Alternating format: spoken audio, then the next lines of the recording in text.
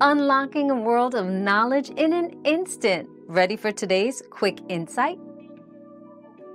Yes, a light fixture can work without a ground wire, but it's not recommended for safety reasons.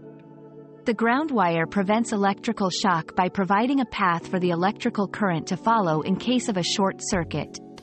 Without it, the risk of electrical shock and fire increases.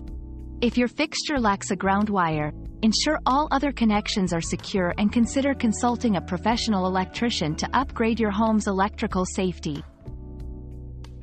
Your daily dose of discovery ends here, but the journey of learning never stops. Subscribe and join us again for more answers tomorrow.